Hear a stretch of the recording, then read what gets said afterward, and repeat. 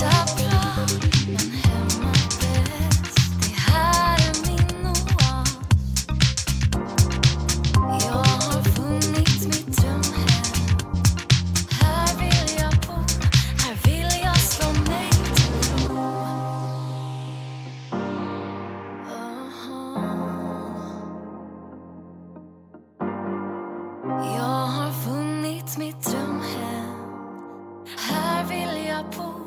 Här vill jag vill jag slå mig till ro.